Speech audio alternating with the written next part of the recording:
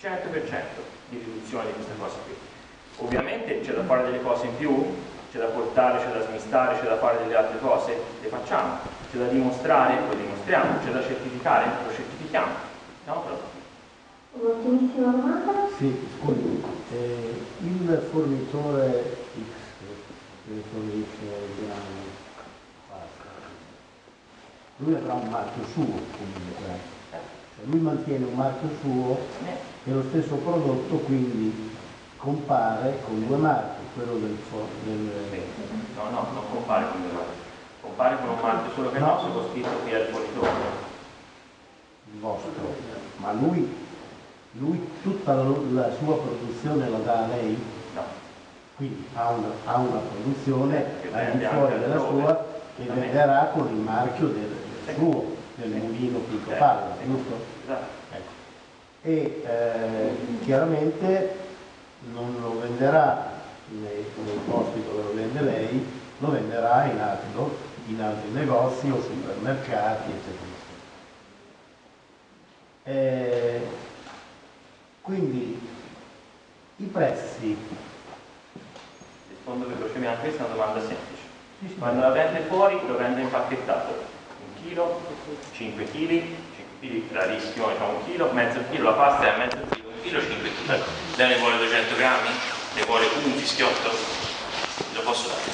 Quindi diciamo la, la differenza sulla quantità che dicevo prima, noi non, non la, la vendiamo impacchettato a mezzo chilo, un chilo, ne prende quello che vuole. Quindi lì nasce il concetto dello scusi. Ne vuole 10 e kg? quindi venendo al frodo, se compro mezzo chilo delle, delle penne del, del mulino tipo Pinco Palla nel supermercato e lo pago un euro e mezzo, il mezzo chilo sfullo che lo prendo da lei, Sì. quanto lo pago? lo paga, la stessa pasta lo paga meno, perché diciamo la questione dell'impacchettamento che è un costo, lo paga, lo paga meno, sull'imbottigliamento questo lo tocca con mano, perché se ritorna con la sua bottiglia, quella bottiglia non la paga. Sì, d'accordo. E impatta, eh, perché... E invece se non torno con la mia sono- bottiglia le cose sono identiche, cioè mentre sulla pasta lei dava uno sfuso, quindi No, no, no, non sono niente, è sempre meno perché non c'ha il fornitore nel nostro caso, non c'ha il costo dell'impacchettatura, quindi ce lo scala. Lui non ce l'ha il costo dell'impacchettatura.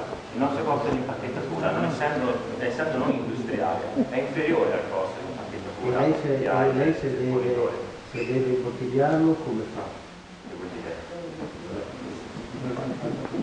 No, no, che, aspetta, che vuol dire se lo deve imbottigliare? La spina forse? Che cosa vuol dire se lo deve imbottigliare? Cioè se io vengo da lei e voglio eh, quante bottiglie di olio da 700 Io le do, le faccio un monumento. intanto. da un vuole una giornata di tempo, no, ci vuole una giornata di quindi tempo. lei ha qualche il pirro Sì, sì, perché quelli che ha visto nella foto, ora va bene, ma lasciamo perdere. No, no, lasciamo. Diciamo, eh, sono dei semplici erogatori dove ci sono dei modelli di, delle, cioè, dove c'è l'olio diviso in tre lei ha dei tecniche. semiautomatismi con i quali a fare E c'è un processo preciso, che è un processo ovviamente c'è un, un segreto industriale, tra virgolette, perché non siamo in un'industria che è un segreto, però diciamo c'è un processo specifico che consente di fare questa operazione. Su questa operazione proprio dell'olio abbiamo avuto una marea di, di, di osservazioni, eh, poi abbiamo sempre preso la briga anche di fare delle, delle- delle cose anche più importanti. E ci hanno trovato E tutti. l'ultima cosa è la verdura invece sì, l'ultima finito con la verdura. sì. La verdura come, come la si come la si propone. La, la verdura come normale costo alimentare.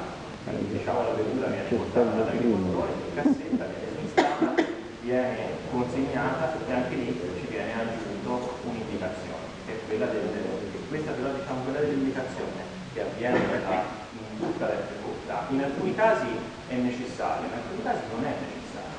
Noi l'abbiamo sempre fatta fin dal 2009, ora si sta parlando della norma che diceva che dovete dire, sempre fatta c'è un software che abbiamo eh, realizzato e che è quello che ci consente di, di oggi di diffondere questo modello, che è un software che ci consente di classificare il fornitore, eh, classificare il lotto, eh, eh, fare diciamo, la- la sca- le scadenze del lotto e quando arriva alla cassa in maniera semplice lei ha, collegato alle bilance, ha fissato la tara, prende quello che e li stampa esattamente quelle Comunque, comunque è una verdura da lavare.